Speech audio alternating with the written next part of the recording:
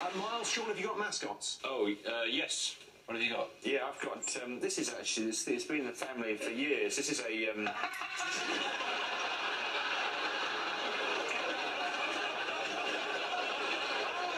this. Um, I, I've had it since I was very young. My. my um,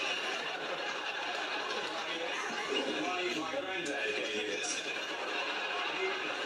was given it himself by uh, a sort of wise woman in a, in a souk in, uh, in northern Africa. And uh, he says this, I don't know who this cheeky chappy is, but always bring you luck. this, I put this sewage on my desk when I did my GCSEs. She was there for all of them. About five general anaesthetics.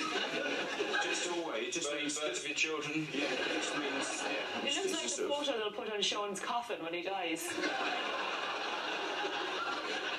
Sean, do you have a mascot? I don't have a mascot. Instead, I've gone for a coping mechanism.